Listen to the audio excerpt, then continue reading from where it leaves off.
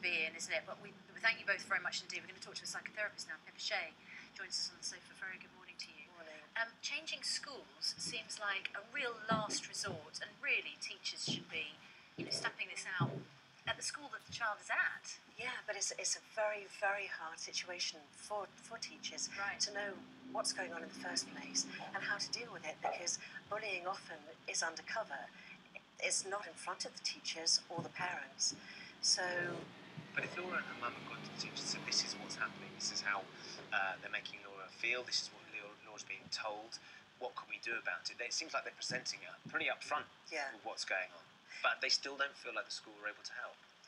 in that in that case, then I think they did the right thing, removing her from that school. Because if, if they're not able to tackle it, and for the school to talk to the bully's parents or bullies in, in plural, because very often there are whole groups of children that are getting together and doing this, and and the thing is to look at also why why somebody is bullying somebody because hurt people hurt people. So if somebody is feeling really good about themselves, they're not going to want to hurt somebody else. No, it's a, it's, sometimes it's a power trip for someone, isn't Yeah, it? absolutely. And if their feeling of status is very low and, and to hurt somebody else makes them feel better, The difficulty, though, Pippa, what you're saying is there'll be people at, uh, watching at home who could well be being bullied, and you're suggesting the bullies are victims themselves, and that's going to be quite hard for them to hear. sure. um, what they, what, you know, if, if there are people at, at home watching and they're being bullied, or parents are nervous about Mm.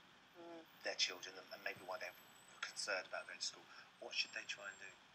I think the main thing is for parents, if they if the child comes to them, to stay calm and to listen and to ask that child, how can we help you?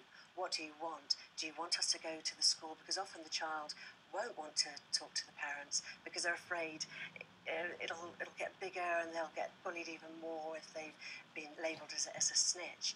Um, bu- bullying is is a horrendous thing to go through, and no child should have to. No, no child should be sort of put through that.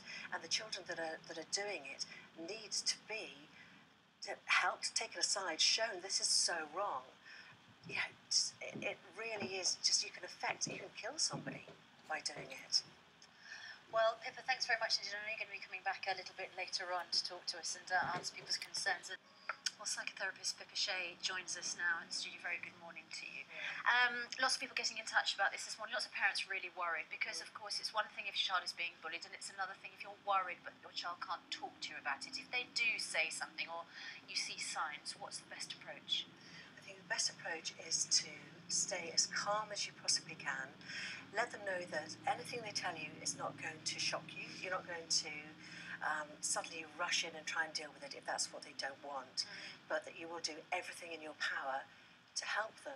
Well, that's interesting, isn't it? Because as a parent, I think if I was told my child was being bullied, my Yeah. absolute primary You want to rush in instinct there. Yeah. would be to say to the teacher, sort this out. Yep. Who are the children? What Yeah. are you doing to help? Yeah. Is that not the right thing to do? It depends how it's done because if a child is worried that you're going to go in and tackle the bully and then it's going to escalate and get even worse, then they're not going to tell you. But if, as a parent, you're able to have a very quiet word with the teacher and say, Look, we think this is going on. Can you keep an eye on this particular child and see if you can catch them red handed yourself so that they don't know it's my child that mm. said something? Because otherwise, your, your child is going to just keep it to themselves and you won't know what's going on. Right. Well, Tinie Tempah's here with us now. Uh, Tinie, in you come. you're a busy man. Just, just hurry up. Popped into, popped into the studio. Tinie, thanks for coming in. Lovely to see you. Obviously, this is hugely. If you Have just a sit yourself there. It's a hugely important issue, of course, and one that you have first-hand experience of. Talk about how you came uh, and your experience of bullying and, and, and your involvement with it. With what Um, happened well, at your school. you know, basically, I think it's something that's just um, frequent in schools, kind of nationwide. You know, and I think it's an issue that kind of goes into adult life as well. So I've always been quite passionate about it. And basically, I teamed up with Cartoon Network, and we launched the CN um, Bully Network, and it's basically trying to speak out and raise awareness for kids who are getting bullied across the UK. Did you ever experience bullying? Um, I mean, personally, I think everybody's experienced bullying in a particular way. I, I had one particular incident where I helped somebody who was in my school who was getting bullied quite a lot, actually, and just basically by being there for him. And it's quite, it's made a a thing, deal. though, isn't it? Because when lots of people see someone being bullied, it's very easy to keep your head down and stay away because you don't want the bully to turn on you. What made you particularly stand up for that person, Tinie? Do you know what? Um, it was actually just getting to spend time with him and get to know him just realizing that, you know, he wasn't the sort of person people were making him out to be. And I think once people saw me associating myself with him, it kind of made it easier for other people to do the same. Were you confident at school? Is that what helped? Um, I, I guess so, yeah, pretty confident. But how amazing, Pippa, to have some a confident role model there who doesn't Takes shy away.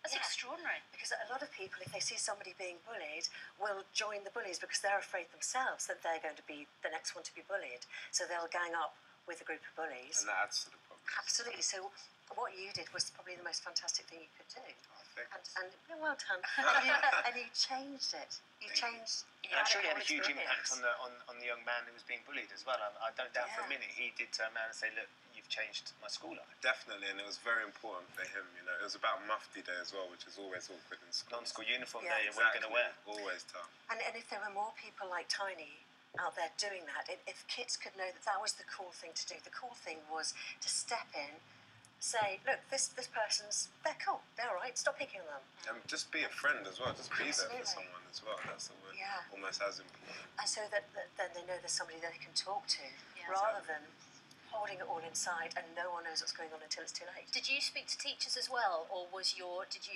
find that just I kind of had more of a personal one-to-one Being next to him relationship. was a- I think sometimes it's always good to to let a responsible adult know. Sorry, but I think just actually being there for for the guy was the most important thing for him. made a huge difference. We've had lots of messages uh, from viewers. viewers. Uh, Kenneth saying bullying starts at primary school. It's up to the parents and teachers to get a grip from the off to deal with it. Ali said, I was bullied at school for being small and wearing glasses. Now the bullies are my friends. So there is hope. And Alex says, always report it. Don't go through it alone as it's one of the worst experiences that you can go through. And I think that's key, isn't it? Yeah. You're never actually on your own. And if you tell Yeah. someone, they can help. Absolutely. Tell tell somebody. If you if you don't want to talk to your parents, tell a friend. You tell somebody. Uh, you know, in, in your church or any anyone, it doesn't matter, just so that you're not keeping it Yeah. to yourself. Pippa, thanks very much indeed. Fantastic, lovely to see you. Thank you Thank very much and best of luck with the campaign as well. Thank you very much. yeah, yeah. Thank you. Uh, you can find out more information on how to stop bullying on our website itv.com forward slash G